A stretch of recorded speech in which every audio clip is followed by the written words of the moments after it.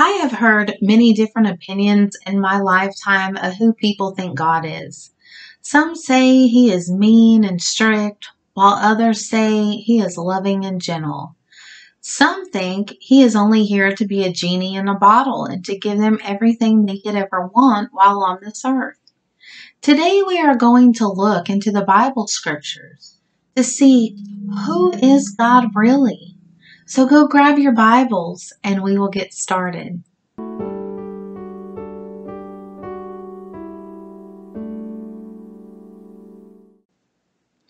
Welcome, Digging Deep family. I hope you are all having a great day.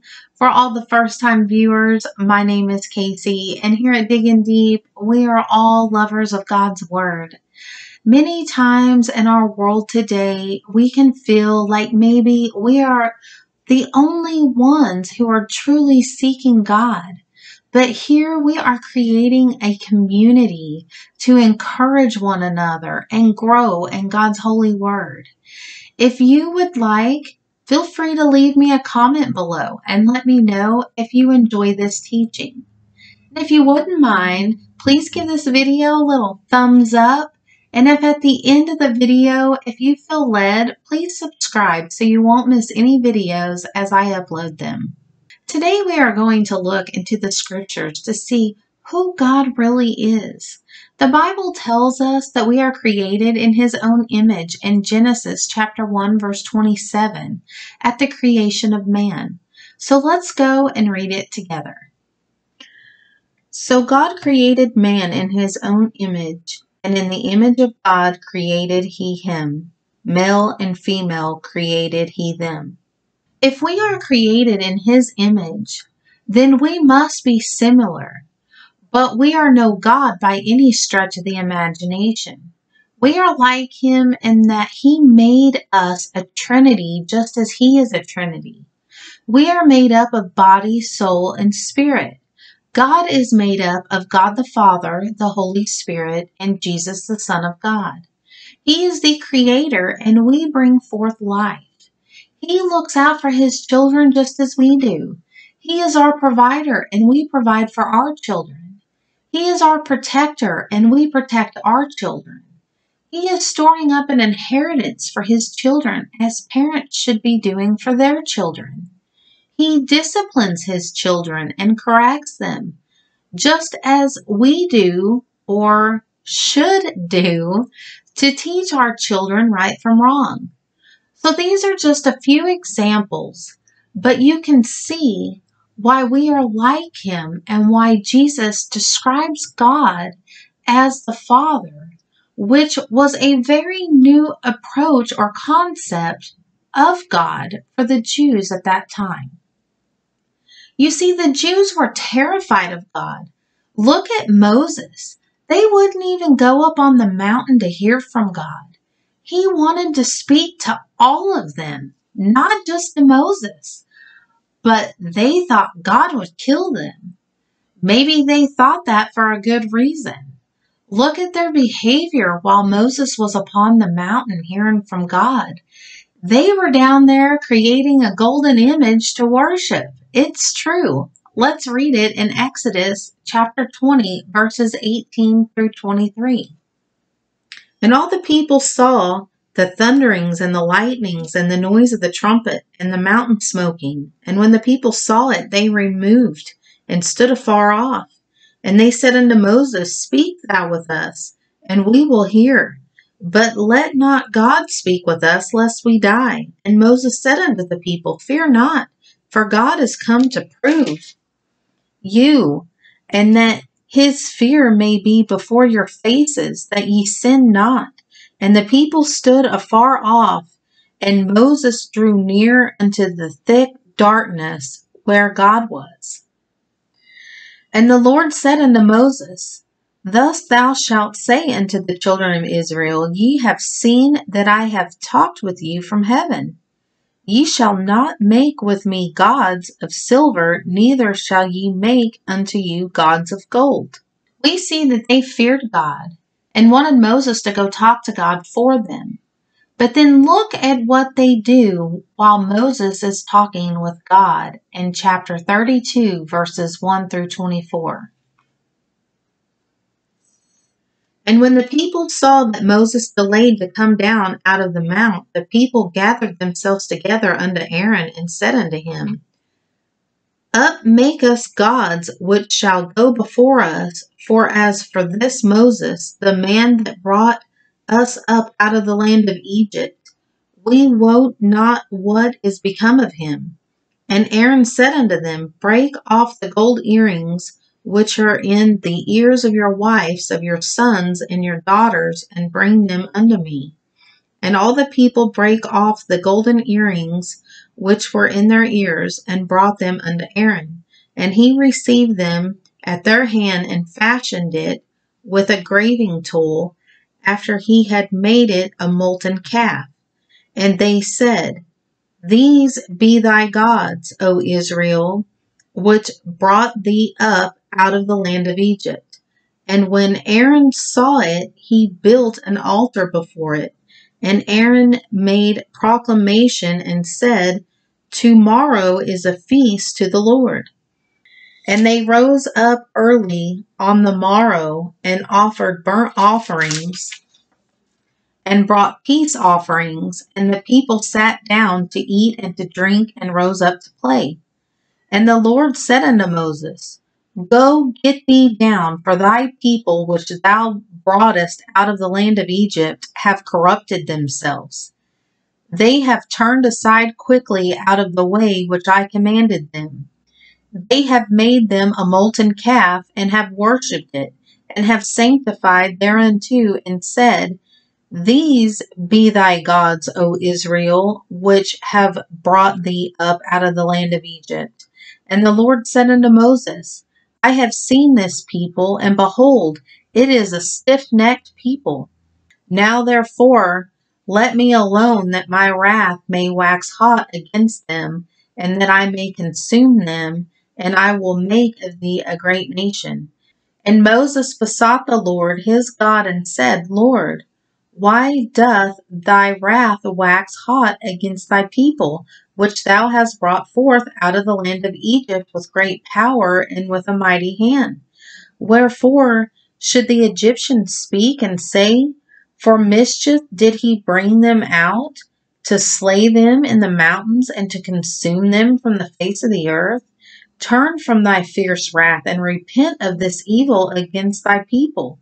Remember Abraham, Isaac, and Israel, thy servants, to whom thou swarest by thy own self, and saidst unto them, I will multiply your seed as the stars of heaven, and all this land that I have spoken of I will give unto your seed, and they shall inherit it forever.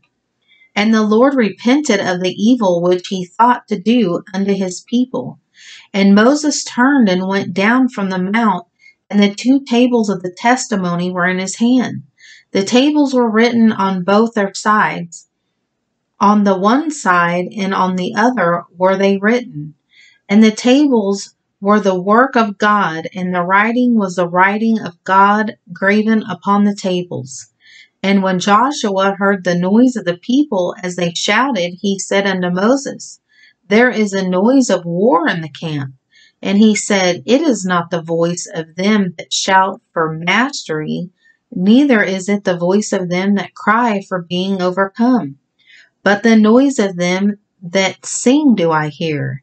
And it came to pass, as soon as he came nigh unto the camp, that he saw the calf and the dancing, and Moses' anger waxed hot, and he cast the tables out of his hands, and brake them beneath the mount.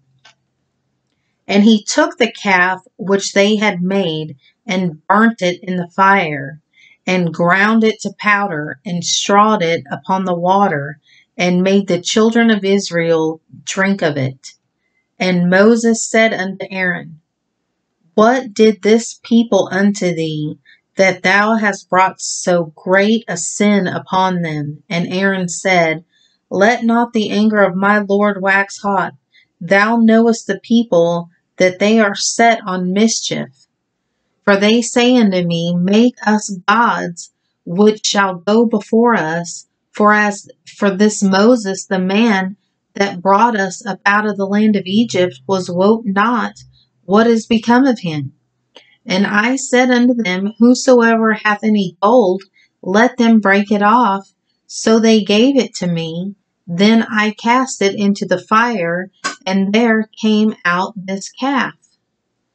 Many times we see God had to punish his children of Israel because of their behavior. He gave them the law to help them live right, but they misused the law and continued to break the law. We can see from the Old Testament stories that God is long suffering and he desires to be with his people. God is not some high minded king upon a throne inflicting pain upon the people. We must be careful to never do what the children of Israel did. And they created their own God in their minds. If we start telling ourselves God is all love or all wrath, we will mislead ourselves and fall into a trap set by the devil. Just as we may be a friend to some, a father or a mother, or a teacher, or a leader, or a pastor, God can take on many different roles as well in his character. As Christians, we must remember that yes, Jesus, who is God in the flesh, is our friend. The Holy Spirit is our teacher, and God, who is our Father. But one day Jesus will be our judge, and God will decide if we get an inheritance or punishment. We cannot tell ourselves God is all love, which He is, but He is also storing up wrath for the last days for those who do not repent and accept His Son as their Savior. We should be well behaved, disciplined children waiting to live a life that is pleasing to the Father. Think of your own children, if you have any. If you don't, think of someone else's children.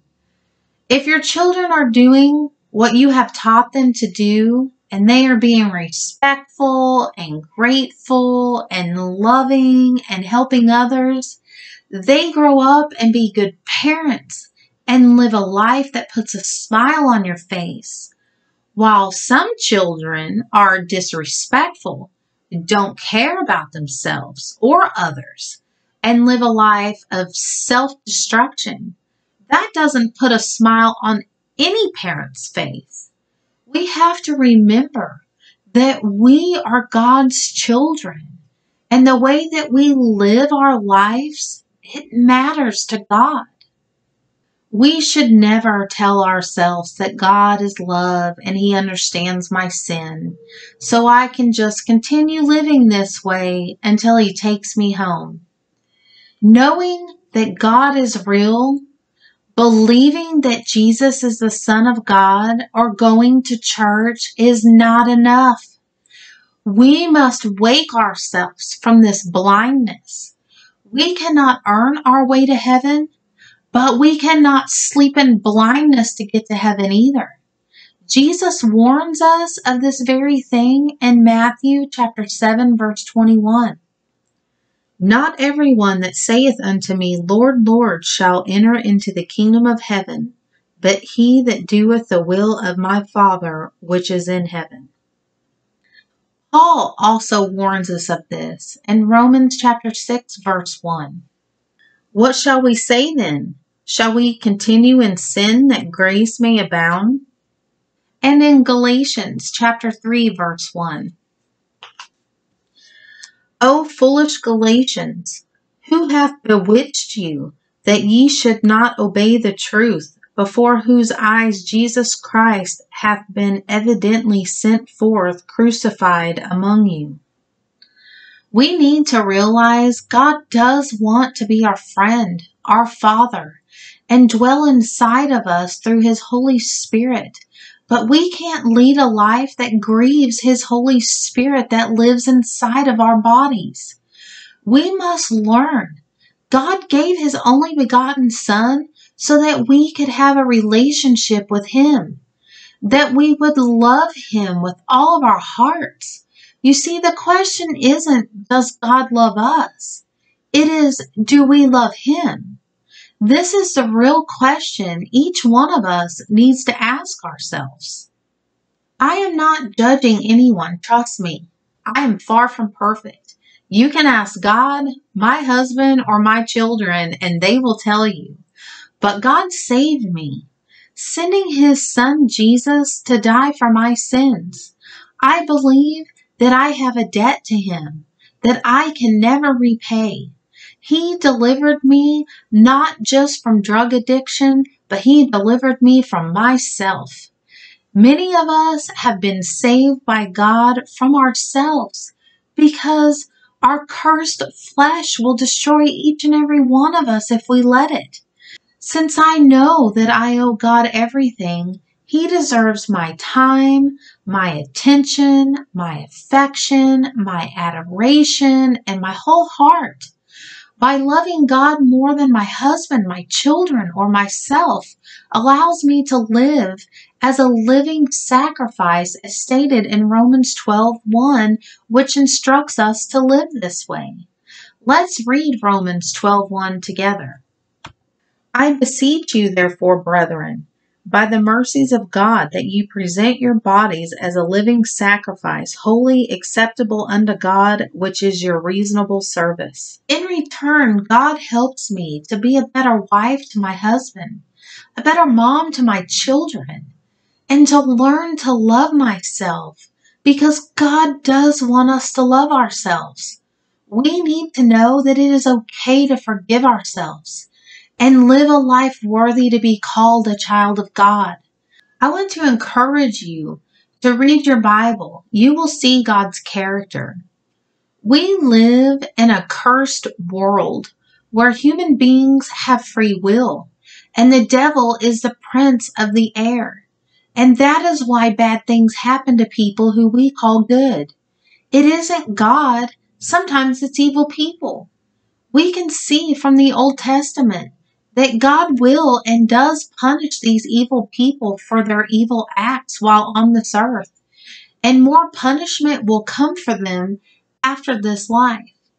So I want to encourage you today to grow as close to God as you possibly can and learn to love Him above anything or anyone. And I promise you, it will change your life forever.